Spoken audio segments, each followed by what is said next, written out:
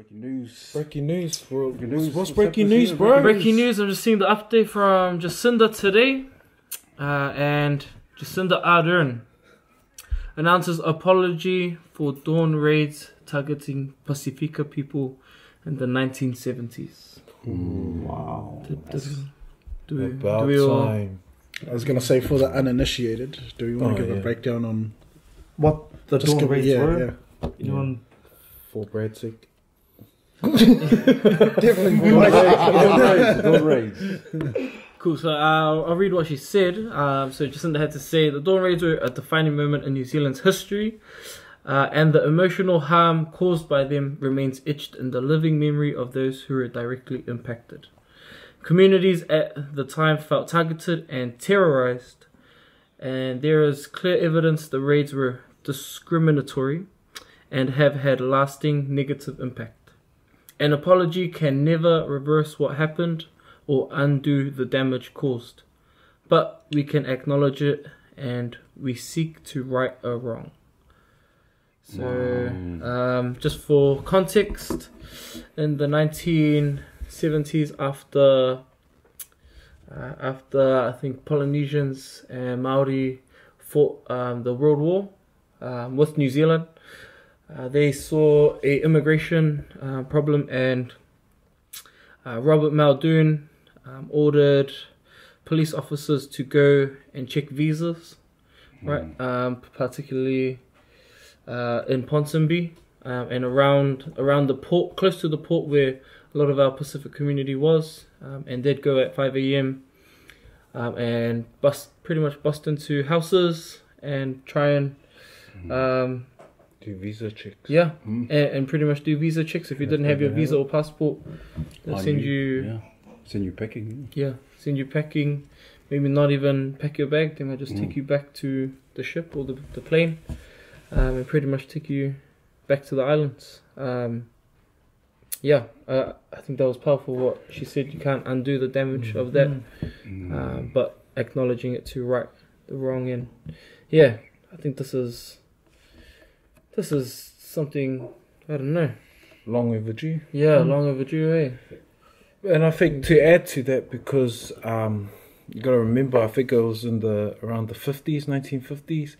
No one was doing these factory jobs, Mm. and like um, so, um, New Zealand opened it up to like pretty much Samoa and all our Pacific Island nations. Like, There's um, work. There's work Work, here. yeah. Come, Mm, yeah. you can you can live here. Blah blah, and all all of our people came, especially um, yeah, all of our people came, and they worked. They did all the crap jobs, but they were all staying around that area, and then got to the 1970s. Um, I think they were going. Um, there was hardly any jobs going around, and then so islanders were getting the blame. We go send them back. They're getting, they're taking our work, and so they put on that rule like mm. immi- immigration rules. And but they, we had overstayers from America and England, but mm. also was only islanders Yeah, that were okay. They were getting targeted. targeted. To have those actual dawn raids where they break Yeah, in, yeah, yeah. just like you'd see in the movies where they go and like break into a house like unexpectedly, people mm. don't know, and they just raid the house. It was really sad, eh? And when you hear some of the stories from the actual people that lived through it, man, it was bad. They had to like all the neighbors had to hide each other, or they had to like jump the fence, and um, and it was a good time. And that's that's what birthed the um, like the Polynesian Panthers yeah um, and they really fought for um, our people and trying to, you know, be that voice to a group that was um, marginalized. Mm. And so, like, when we hear about this apology and the fight that our people been trying to do for so long, it's about time. Mm. Um, but I hope it's not a political um, move. Mm, yeah. Um, but yeah, I think the Mm. people have spoken. They've done petitions, letters, and um, yeah, look forward to what this looks like. Yeah. But it's, it's re- yeah, it's really unfortunate. Like like Charles say, like in the fifties, sixties, Robert Muldoon, New Zealand offered jobs because a lot of the Kiwis back in those, those days didn't want didn't want to do that kind do of the so-called dirty jobs. So, Oh no, So they had to find other people, and so they thought, okay, the islanders were, were quite happy to come to New Zealand and migrate to New Zealand and do the so-called dirty jobs because yeah, the, the New Zealanders didn't want to do it. And so what had happened is that because there was an influx of islanders and then they were taking all the jobs, it was flourishing. The, the jobs and the economy and, and money was really good for back in the 60s, 70s. And what happened, like Charles was saying, because the jobs were taken, and hey, you're taking our jobs. So they had to put up like a cap, like, oh, wait a minute, these guys are taking our jobs. And so that's when the kind of the riots, not the riots, but the dawn raids kind of happened. And so, yeah, then you had a bit of a, a mix it in with racism and ignorance. And then, yeah, it was a very sad time. Like, I, I, I, say that because my dad. My dad got caught. He got caught in the um, dawn raids and he had to get deported back to Samoa. But he was married. He was married, and um, and his wife at the time, his first wife, had had a child. Uh, was, was pregnant, and so he was deported back to Samoa. And so what had happened that his first wife, you know, had a child and remarried, and he never, came back. And, and he, he did, you know, he didn't come back to her, but he did come back. Uh, I don't know when he came back, but he came back and then started a new life. And she started her new life with her new husband, and so all that kind of stuff. Eh? And so. But it is. It's, it's a lot of sadness because a lot of people, and they had like um, untold stories in that. With, with Felix, was, Felix was in the, he had a lot of the islanders having all these, these secret codes and, you know, to, to warn each other. Oh no, you gotta hide. Mm. You know, or they'll ring up you know, certain um, number of, of rings. They would know that when to hide. Yeah. Yeah, and so it was, it was a very sad time. Not only not only for the Pacific people, there were a lot of good New Zealanders, you know, Balangi Pakias, Mm. who were really trying to help. They felt for the islanders and, and would even, um, even um, like.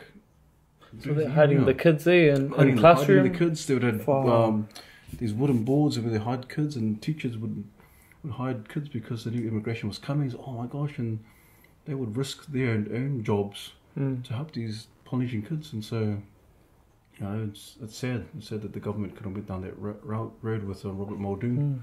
Mm. Um, but yeah, real real dark time for our, our Pacific people at that time. It sounds. It seems interesting, and something I've just picked up is you're saying they live in like Ponsonby, like that really mm. nice mm. area, the mm. islands. So they get pushed out from there. I'm guessing where to out south or something, Otara and Yeah. Yeah. South Because because that, that would have been Yeah. prime real estate. I mean, you're sitting, you know, not far Right from the next to the city, city, and next to the water. And if you look at those places now, they're all super rich, you know, really really wealthy areas. And so the the polys that came over, were they living in those areas, Yeah. and then they got uh, when the dawn raids came, they got pushed Yeah, out. pushed and, out. You're looking at Ponsonby, Grey Lynn. Fuck, popular, I don't know, man. It's You know, a lot of where all the islanders were congregated, and yeah, a lot of No, them. once they, yeah, it was a whole different. yeah, that would have been a whole I different mean, thing. South Auckland, you know, there was a lot, a lot of land, and then they started selling the dream. Um, go and get your first house, and or there's cheap houses out here, Mm. and it was real cheap. And then everyone started buying homes. Like they all left um, Central and came to South Auckland. And then, Yeah, uh, yeah. what's that word again? Gentrification. Gentrification, yeah. It's happening again. Mm. Yeah. What is it? What's that word? Gentrification. Gen- Like gen- gentrified. Being, gen- gentrification.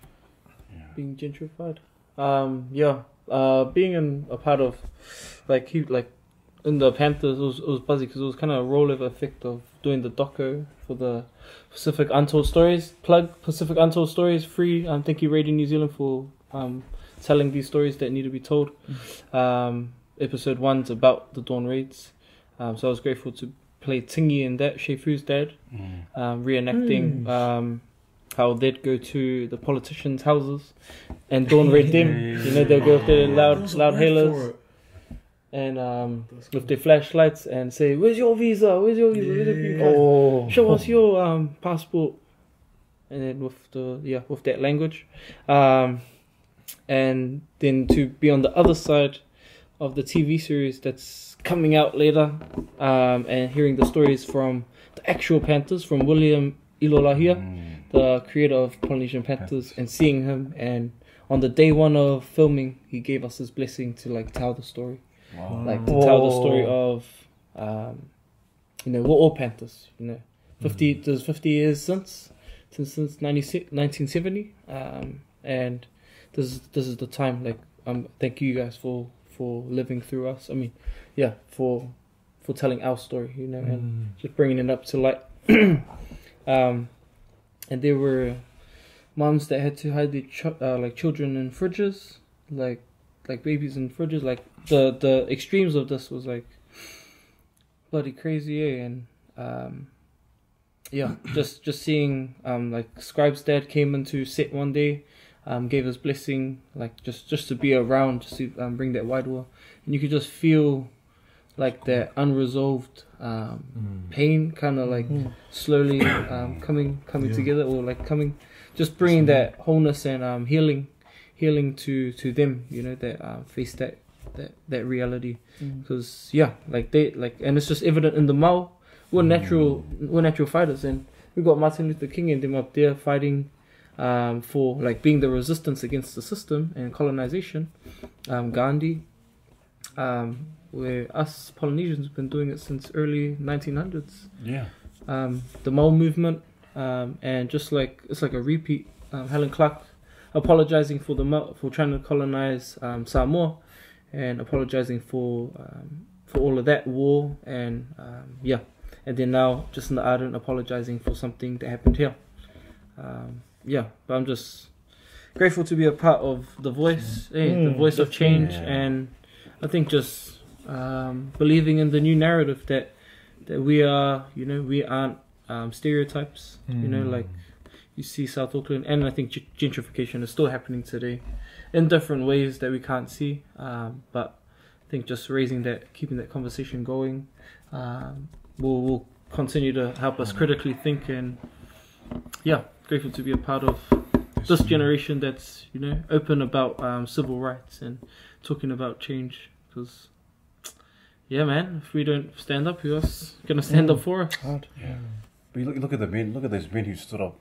You look at um, Tupu Tamasese, mm. Tupu Tamasese Lealofi the third, and then you look at what, Willie, William, yeah, the leader Mm, of William, um, yeah.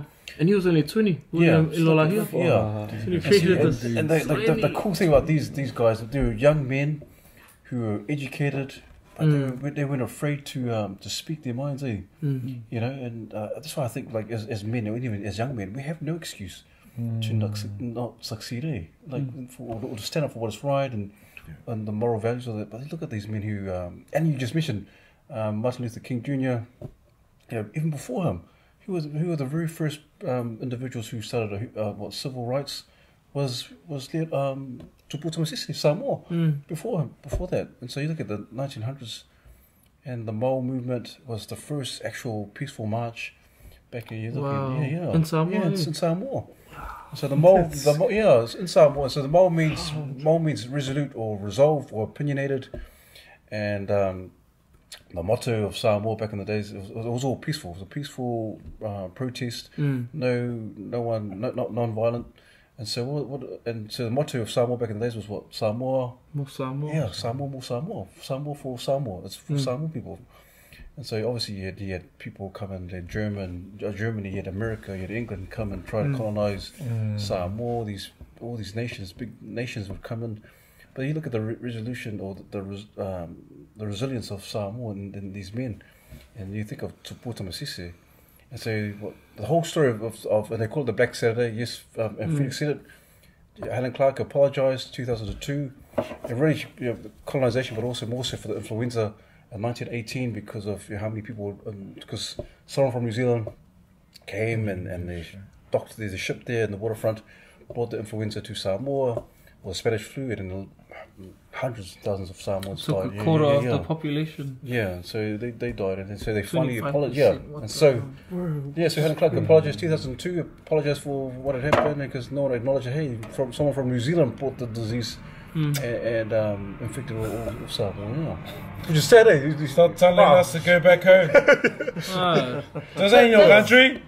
Yeah, which is, which is We're all immigrants, except for them. and that's it, because the um, Dawn Raid Stereo, they'll see brown people and then hit them up with your visa. Yeah. Then they'll hit up the Maldives. yeah. Like, show me your passport. Hey, you're hitting up the prison. They should be asking you, "Where's your passport?" You know, like you're the This is visitor. messed You're, up, you're the overstayer here, right? But just because you have words and you know laws that that somehow entitles you to authority over, you know, You know, mm, society. That's crazy. It's messed up. Yeah. It just makes me Blows think about uh, Herald comments at the moment. Mm. Just like, well, what are you saying sorry for? Like, Oh, uh, who's that? there's other issues more important than than Than this this- apology. I was going, wow. Oh. But see, there's a relation because people that. are like saying there's current issues like housing and poverty that we need to address. Mhm. And I was going, "Bro, a lot of what had happened before affects the way our Mm. people are living today, Mm. and so um, Yeah. we need. There needs to be reconciliation. There needs to be some more. There needs to be It's a start, eh? Yeah, it's a Mm. start. And all these people that are in the comment section that don't know Jack. okay, learn your fucker, papa, yeah? What So that, that was someone um commented on on Instagram because I was like, uh, I was like, yes, reparations. Cause I commented on the apology Mm. um letter from from Benji Timu. Shout out, thank you for leading that us. Um, and then yeah, I was like, yo, reparations. Um, ASAP, and then uh, some guy goes, reparations. We should start with reparations for Maori, Maori land. I was like, hey, this is just a a seed planted so that we get a foot in the door and it, it becomes a regular thing that we can um, start, you know, voicing our opinion. Um, but I think there's that like differentiation between Maori and Pacific Islander. New Zealand's still an island, like technically we're still Polynesia, you know, like so uh, we're still like together kind of thing. But Yeah. I think just because I don't know, Maori might might have had a, di- a bit, you know, different um here to how we had it in the islands, but you know, all one family, man. We're all brown, same color. So yeah, keep keep it up, keep it up. you know. Yeah. Oh, Geary, mate. um, did you see that? Um, the the the Germans try to the New Zealanders try to tell the um ma- ma- like strip Matais, the chiefs of um, Samoa, from their titles, um, so that it'll it'll eliminate the authority in Samoa, and then they'll send like the head like the head leaders overseas out of Samoa so that they try and diminish the spirit.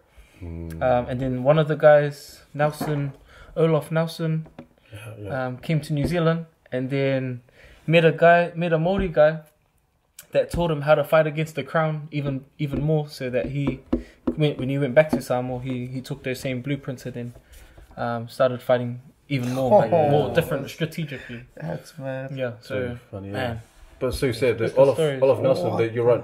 Olaf Nelson, they brought him to, they deported. Well, they took him to New Zealand. And they took him. They they imprisoned him, and so he was in prison. He was in prison, and so For what? yeah, because was he? He was half someone, half someone. mm, German, not sure. or Dutch, it? Yeah, so he came here, they imprisoned him, and then I think they he, he came back, and then what happened with the Mau?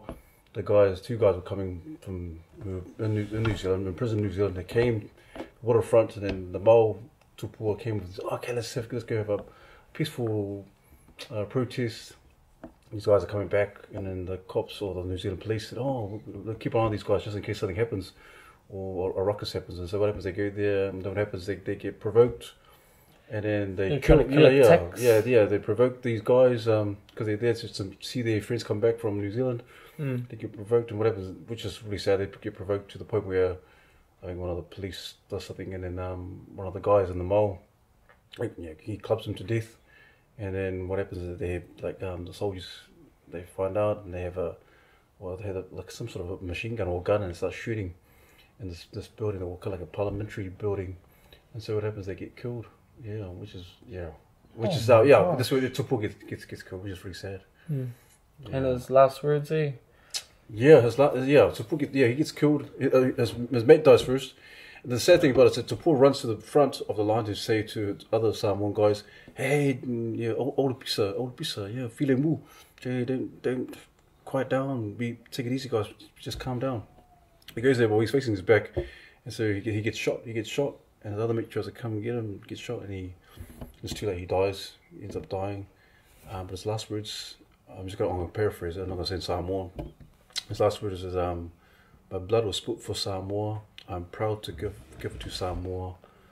Um, but he also says that um, if um, uh, if I die, let me die, but um, but let peace peace must be maintained at any Mm. cost. Mm.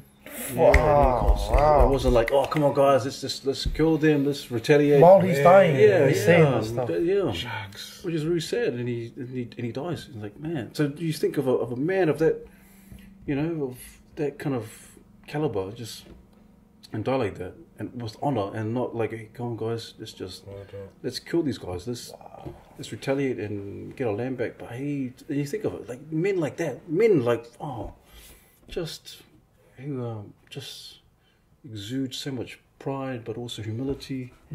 Um, you know, who, you know, I can. I don't know if I could. I, I don't know if I could do that. But oh, you just kill them, just go crazy, and you know, sometimes we as Samoans or as Islanders, we see red like just yeah, yeah, yeah, yeah. but amazing, amazing. Yeah, yeah, yeah. You're right, Charles. It would be like that. But yeah, that's just the true history of that. And then you get a po- an apology in 2002. And so and that's what that's what they call it Black. They call it Black Saturday, in December the 20, 29th, 1929. And so yeah, he, yeah, pretty sad. Eh? Just the history of, of 1929. Then Samoa gained their independence 1962. Yeah. Like 33 years later. That's still like what happened between then. You know, like wow, that's crazy. Yeah. These are some big steps here, I think, for closure at least, or for some some kind of. um Because you're right, or what they said is true. Nothing's gonna change what happened with these dawn raids Mm. and every, all the racism and that that's happened. But the bigger steps than I've seen, um, you know, other governments and that take. Yeah. Mm. Man, it's interesting. This is all. It's all new to me. Yeah. Like I've heard the words like dawn Mm. and I've heard terms, but don't remember ever being taught this in school. And essentially, all of my education is just through the system. So Me too. never heard any of this mentioned. Never heard any of the all the names that are mentioned. No idea about them. So it's weird. Not weird, but like it's interesting hearing the history and like not really knowing how to feel about it. Like I know I'm, Yeah. I'm brown, I'm Samoan, I was raised in South Auckland, and yet like these stories, uh, the these characters or these people are like strangers to me, Mm. and so just Yeah. trying to process like it should be more meaningful to me, but I feel weirdly disconnected. Like Mm. Yeah. man, That's me.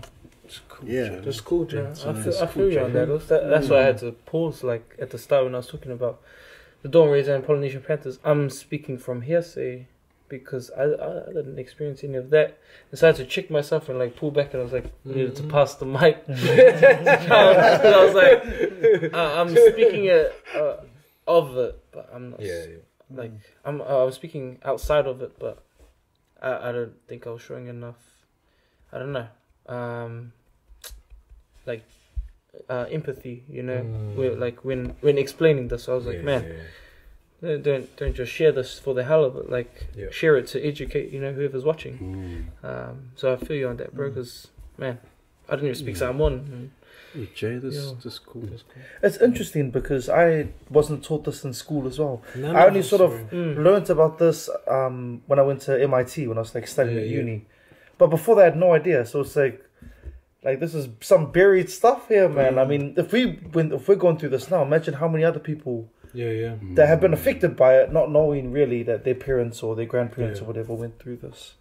I didn't learn this until uni as well because I had to do a research paper. But when I found out about it, I was angry. Mm. Mm.